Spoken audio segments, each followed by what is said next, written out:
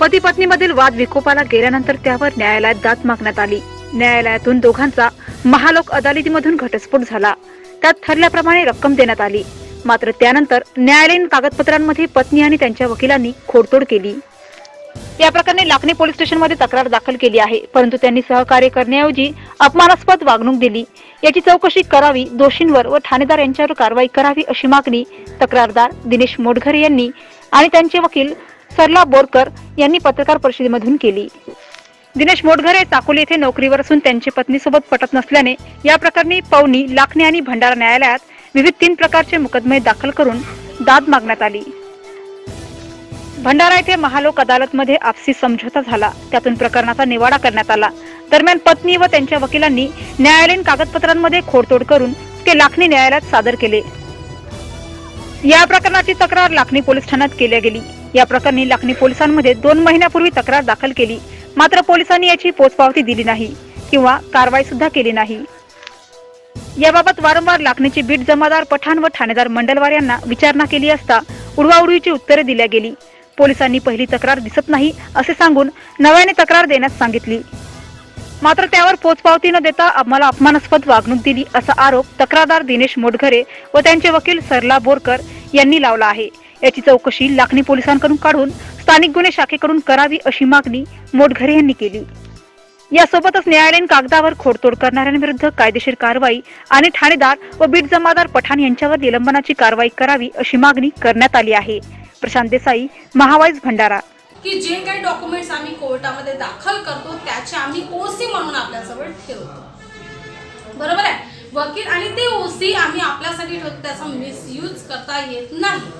तो ऑलरेडी कोर्टामध्ये दाखल असतो एक कागद. आता या वकिलांनी काय केलं की कोर्टामध्ये लाखनी कोर्टामध्ये आपली बाजू मांडली अर्जदाराने आणि वकिलांनी सुद्धा. की आमच्यामध्ये ऑलरेडी सात लाखामध्ये आपसी समता झालेला होता आणि तसा एक दुसरा आपसी समता पत्र तयार करण्यात आलेला आहे तो माझ्याकडे आहे. कोर्टाने म्हटलं दाखवा तो आपसी समजुता पत्र.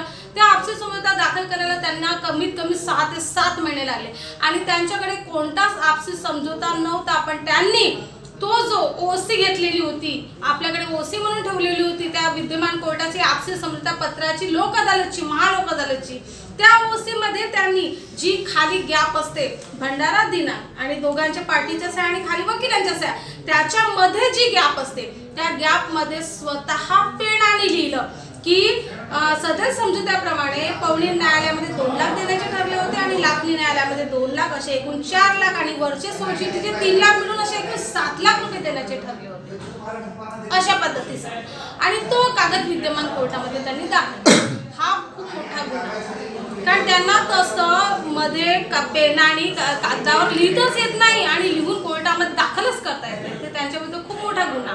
दिनेश विनायक मोटघरे व्यवसायाने ते शिक्ष लिपिक आहेत कोणत्या तरी संस्थेत विरली खंदारला त्यांनी त्याची मिसेस आहे सौ शालू दिनेश मोडगरे ही शिक्षिका आहे नेरोडी करजखेड्याला त्या दोघांचं पती पत्नीमध्ये त्यांना त्यांनी कौटुंबिक याचं जे एम एफची न्यायालय इथे दावा दाखल केला होता तो दावा दोघांनी आपसी समजोत समझोता करून तो निवाली निघाला त्या इथला जो अर्जदार आहे दिनेश मोटघर यांनी त्या मिसेसला त्याच्या मिसेसला कोर्टामध्ये पैसे देऊन त्यांची सोडचिठ्ठी वगैरे आटोपलेली आहे.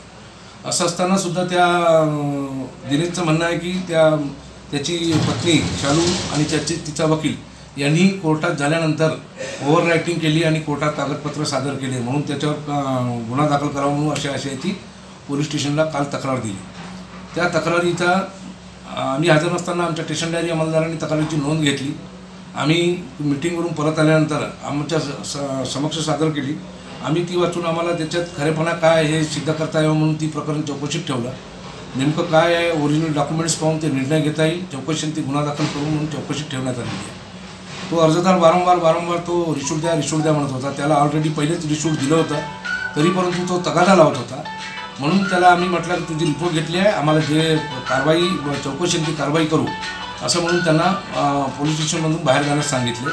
आणि त्याची रिपोर्ट स्वीकारलेली आणि त्याची चौकशी चालू आहे आणि हेच प्रकरण त्यांनी कोर्टात दाखल केलं होतं. कोर्टाने सुद्धा ते फेटाळून लावलेलं आहे. तुमचा आपसा समजूत झालेला आहे.